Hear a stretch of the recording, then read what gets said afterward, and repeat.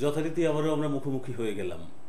আপনাদের সঙ্গে আমাদের এই দেখা হওয়ার সুযোগটা এটা ভীষণ একটা পজিটিভ সাইন মানে পজিটিভিটি ক্রিয়েট করে এবং ডেফিনেটলি হয়তো আপনাদেরও মনের মধ্যে হর্ষ, উল্লাস জাগে, যার জন্যে একটা আগ্রহ তৈরি হয় এবং যার জন্যেই আপনারা এই অনুষ্ঠানটা রেগুলারলি দেখতে বসেন। যে মানুষটার অনুষ্ঠান দেখতে বসেন, পণ্ডিত শ্রী অর্পণজি, তিনিও তো এই রেগুলার বেসিসে তার কর্মটি করে চলেছেন।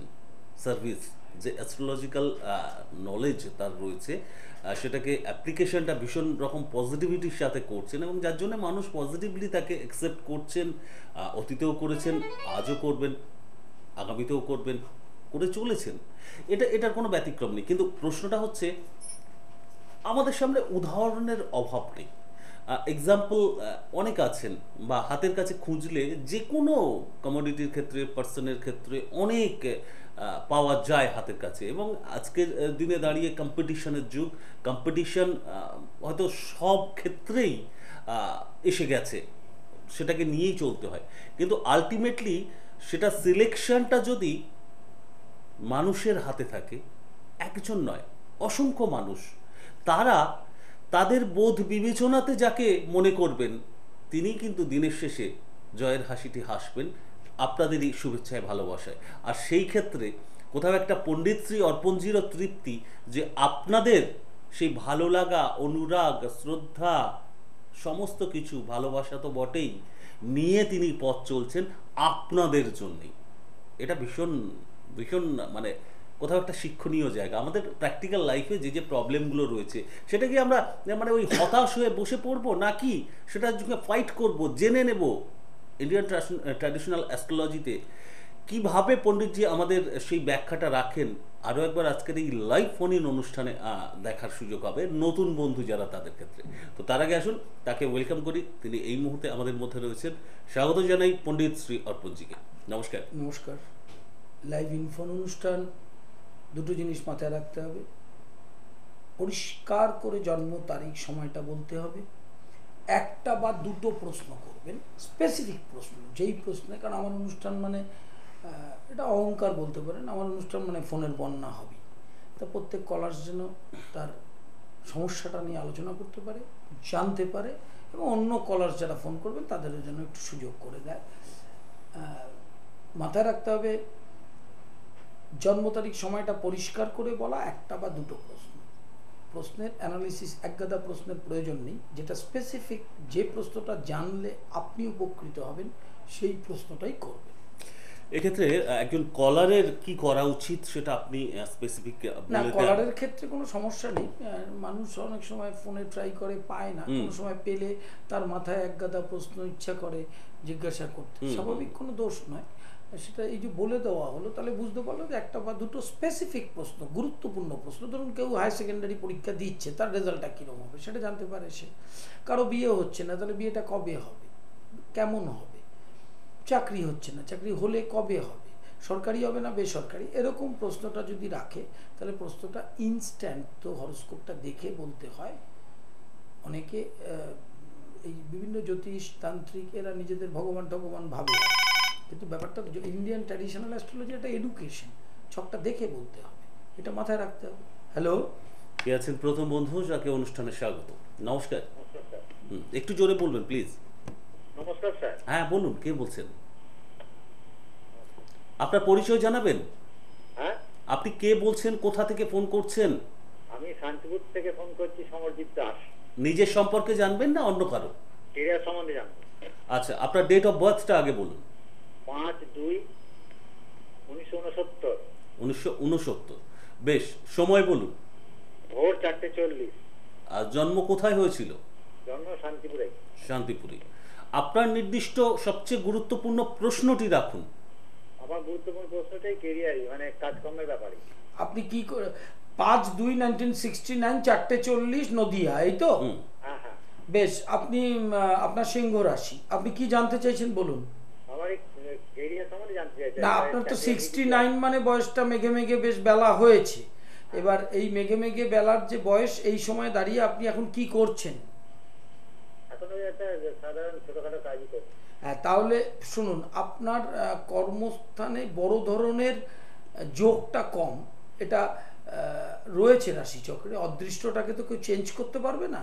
কিন্তু আপনার জ্যৈষ্ঠ মাসের শেষের দিক থেকে বর্তমানে যে কাজকর্ম করছেন, তার থেকে একটু বেটার জব হতে পারে।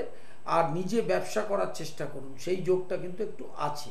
সিংহ রাশির এই বছর এমনি ভালো, খারাপ নয়, কিন্তু জ্যৈষ্ঠ মাসের শেষের দিক থেকে আর একটু ভালো রেজাল্ট পাবে না আচ্ছা ব্যবসাটা কিসে করতে পারি? বিভিন্ন রকমের আইটেম আপনার হরস্কোপে আসতে পারে। এতটা ইলাবোরেট তো রাশি এখানে লাইভে বলা যাবে না। আপনি শান্তিপুরে থাকেন, কৃষ্ণনগর চেম্বার আছে তেইশে মার্চ, চতুর্থ শনিবার আমার থাকে। সেখানে আসুন, তাহলে আপনি আলোচনা করে আপনাকে খুব সুন্দর করে বুঝিয়ে দেবো কি ব্যবসা করলে আপনি আরও ভালো জায়গায় পৌঁছাতে পারবেন। তবে শুধুমাত্র কৃষ্ণনগরের বন্ধুদের জন্য নয়, সুযোগ কিন্তু অন্যান্য ক্ষেত্রেও রয়েছে। টিভি স্ক্রিন ফলো করে এতক্ষণও দেখেও নিয়েছেন যে পণ্ডিতজি কোথায় কোথায় যাচ্ছেন। কৃষ্ণনগরের কথা উনি নিজেই বললেন। সাত তারিখে কাটোয়াতে যে যাবেন সেটা তো এতক্ষণে জেনে গেছেন। কাটোয়া এবং তার সন্নিহিত অঞ্চলের বন্ধুরা ইতিমধ্যেই নামটা নথিভুক্ত করেছেন যারা আগ্রহী। ঠিক তেমন ন তারিখে বর্ধমানে যাবেন যে পণ্ডিতজি, সেটাও তো ইতিমধ্যেই ঘোষিত হয়ে গেছে এবং যারা মনে করছিলেন যে কবে আসবেন পণ্ডিতজির কাছে যাব, তারা ইতিমধ্যেই নাম লিখিয়েছেন। যারা এখনও আ, মানে ইচ্ছে রয়েছে তাহলে ওই হেল্পলাইন নাম্বারে ফোন করে নিন সেটাই সবচেয়ে বুদ্ধিমানের কাজ হবে। যেগুলো টিভি স্ক্রিন থেকে নোট ডাউন করে নিতে পারেন nine six seven four double zero nine six three two এবং nine eight three six seven zero seven six double seven ও হ্যাঁ তার সাথে বলে দিই যে প্রতি শুক্রবার দক্ষিণ কলকাতার গড়িয়াহাটে যেমন চেম্বার থাকে আগামীতেও থাকবে। আর এর পাশাপাশি দশ তারিখে রবিবার পড়ছে। সেখানে চন্দননগর এবং ব্যারাকপুর এই দু জায়গাতেও কিন্তু চেম্বার ফেসিলিটি থাকবে. পণ্ডিতজি পৌঁছে যাবেন। হ্যাঁ হ্যালো কে আছেন? হ্যাঁ আমি কল্যাণী থেকে বেদান্ত লাইরি বলছি। আচ্ছা বেশ। বলুন নিজের সম্পর্কে জানবেন? হ্যাঁ নিজের সম্পর্কে জানব। আপনার ডেট অফ বার্থটা বলুন। হ্যাঁ চোদ্দই অক্টোবর উনিশশো চুরাশি। চোদ্দই অক্টোবর উনিশশো চুরাশি সময় কখন? সময় আছে সকাল সাতটা পঁয়তাল্লিশ এ। ওকে আর জন্ম কোথায় হয়েছিল আপনার? কলকাতা। কলকাতাতে কি জানতে চাইছেন বলুন? আমার চাকরি সংক্রান্ত বিষয়ে জানতে চাই। আপনি কি চাকরি করছেন না এখন আবার করবেন? কোনটা? মানে চাকরি চাকরি করছি কিন্তু মানে বেটার অপশনের জন্য আচ্ছা মানে প্রথম হচ্ছে আপনার আপনার বেটার অপশনটা একটু পরে আসবে দুর্গাপুজোর পরে। তার কারণ আছে যেহেতু বৃষ রাশি রাশির অষ্টমে শনি থাকলে শুভ কর্মে একটা বাধা সৃষ্টি হয়। কিছুটা সাড়ে সাতির মতোই কুপ্রভাব দেয়। অন্যান্য প্ল্যানেটারি অবস্থান এই মুহূর্তে ভালো আছে। যেখানে করছেন সেখানে বড় সমস্যা কিছু হবে না। কিন্তু মানুষের আকাঙ্ক্ষা তো আরও বড় হওয়া সেটাতে কোনো আপত্তি কিছু নেই। সেই যোগটা কিন্তু দুর্গাপুজোর পর থেকে আসছে। অর্থাৎ দু হাজার কুড়ি সালে আপনি এখান থেকে বেটার জবে আবার প্রবেশ করতে পারবেন হ্যাঁ? আর বলছি যে আমার সরকারি চাকরি কোনো যোগ আছে? সিক্সটি ফাইভ পার্সেন্ট আছে। কিন্তু ওটার পেছনে যা প্ল্যানেটারি অবস্থান আছে আপনার আপনার দুটো ব্যাপার আছে। এক হচ্ছে লগ্নের তৃতীয় বৃহস্পতি। এটা খুব শুভ যোগ সক্ষেত্রে। ন্যাচারালি ফিনান্সিয়াল কন্ডিশন অন্য কষ্ট এই ধরনের বড় ধরনের কিছু হবে না। কিন্তু সরকারি চাকরি মুখে গিয়ে কিন্তু আটকে যেতে পারে। সেই যোগটা আছে হ্যাঁ? চেষ্টাটা করুন।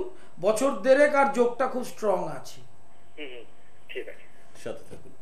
পণ্ডিতজি একটা খুব জানতে ইচ্ছে করে এত সুদীর্ঘ সময়ের আপনার প্র্যাকটিস লাইফ মানুষের জন্য অ্যাস্ট্রোলজি নিয়ে কাজ করে চলেছেন যদিও তারপরে পরবর্তী সময় রহরা জ্যোতিষ শিক্ষাশ্রমে সেটা ভূমিকা তো রয়েছে। যাই হোক আমি প্র্যাকটিস লাইফ নিয়ে জানতে চাইছি সাধারণ মানুষ অ্যাস্ট্রোলজারকে বা অ্যাস্ট্রোলজিকে কীভাবে দেখেন? এত জন মানুষকে করলেন। প্রথম হচ্ছে একদম সাধারণ মানুষের মধ্যে তো অনেক ধরনের থাকে নিম্ন মধ্যবিত্ত থাকে মধ্যবিত্ত থাকে হায়ার এডুকেটেড থাকে ব্রেনের অবস্থান সবার সমান না। একজন রিক্সো শ্রমিক জ্যোতিষকে বিশ্বাস করে আবার ডাক্তারও করে আবার প্রফেসরও করে। তাদের অ্যাঙ্গেলটা আলাদা। অবশ্যই। কিন্তু আমার প্রতি যদি ভরসা কারও থাকে তাহলে সেটা এডুকেটেড পার্সনদেরই বেশি। কারণ আমার অনুষ্ঠান নিতে পারবে না যারা ইউটিউবে দেখেন বা আমার অনুষ্ঠানের মধ্যে সবসময় শিক্ষাটা দেওয়া থাকে। কিন্তু তান্ত্রিকরা কি করছে? জ্যোতিষ আর তান্ত্রিককে এক করে ফেলছে। কারণ তাদের শিক্ষাটা এতটা কম আকাশ আর মহাকাশ এক না। আকাশ বাড়ি থেকে বের- বেরিয়েই দেখা যায়। Sky blue is sky is blue. কিন্তু মহাকাশ কি দেখা যায়? মহাকাশ তো দেখা যায় না কিন্তু অনেকে গুলিয়ে ফেলছে। আকাশটাও যায় মহাকাশটাও তাই। মানে তান- তন্ত্রটাও তাই জ্যোতিষটাও তাই। তন্ত্রর সঙ্গে জ্যোতিষের কোনো সম্পর্ক নেই। আচ্ছা, একটা কথা একজন বুদ্ধিস্ট হ্যাঁ। একজন মুসলিম পীর ইন্ডিয়ান ট্র্যাডিশনাল অ্যাস্ট্রোলজি করতেই পারে। ট্র্যাডিশনাল অ্যাস্ট্রোলজি সাবজেক্ট না এই যে আপনি তন্ত্র নিয়ে এই যে বিরূপ মাঝে মধ্যে না তার কারণ হচ্ছে? তন্ত্র একটা শিক্ষা। সেই হ্যাঁ। শিক্ষাটাকে এরা শিক্ষার মধ্যে আনছে না। মানুষের মাথাটা খারাপ করে ফেলছে। তুকতাক হোম শ্মশান যজ্ঞ ইংরেজিতে কেমোফ্লেস বলে এটাকে। এটা দিয়ে ত্রাস সৃষ্টি করে দেওয়া। আর মানুষ তোমাকে দুটো কথা বলেছি ধর্ম আর রাজনীতি এই দুটো জিনিস মানুষের মধ্যে প্রবেশ করিয়ে দিলে সে একদম পাগল হয়ে যাবে মৃত্যুর দিন পর্যন্ত ওই করতে থাকবে শুধু। শিবরাত্রির থেকে আমার আটশো পঞ্চাশটা ফোন এসছে কখন জল ডালবে কখন দুধ দেবে কখন ঘি দেবে ঘিটা বাইরে দেবে কি না ফলগুলো নিয়ে কেটে দেবে না গোটা দেবে মাথা খারাপ করে দিয়েছে। তার মানে কোনো এডুকেশন তাদের নেই স্পিরিচুয়ালিজমের ওপর। কে শিব সেটাই জানে না। আলোচনায় লোকে লোকে দেখে দেখে সে শিবলিঙ্গে জল দিচ্ছে। খুব ইন্টারেস্টিং জায়গায় পেলাম কিন্তু তার হ্যাঁ, হ্যালো। বন্ধুকে হ্যাঁ হ্যালো নমস্কার। হ্যাঁ। বলুন কে বলছেন? বলুন। হ্যাঁ নমস্কার। হ্যাঁ নমস্কার। হুম, কে বলছেন? আমি আমার সম্বন্ধে একটু জানতে চাই। আপনার পরিচয়টা যদি একটু জানান হ্যাঁ আমি তো একটু রীনা ব্যানার্জি। শ্রীরামপুর থেকে বলছি। ডেট অফ বার্থ টাইমটা বলুন একটু হ্যাঁ? দোসরা মে হুম। ইয়ার? উনিশশো সময় বলুন। সকাল ছটা। আর জন্মস্থান কোথায়? আচ্ছা আপনার নির্দিষ্ট গুরুত্বপূর্ণ উনিশশো উনিশশো আটষট্টি কি? দোসরা মে উনিশশো আটষট্টি তাই তো? হ্যাঁ হ্যাঁ হ্যাঁ। সকাল ছটার সময়? হ্যাঁ। আচ্ছা আর মানে হুগলিতেই জন্ম? হ্যাঁ হরিপাল আর কি জানতে রাখুন। বলুন। আমার একটুখানি সাংসারিক জীবনটা কেমন যাবে? সাংসারিক জীবন সংসার তো অনেককে নিয়ে হয় সেটা কি স্পেসিফিক স্বামী বা সন্তান না শ্বশুর শাশুড়ি?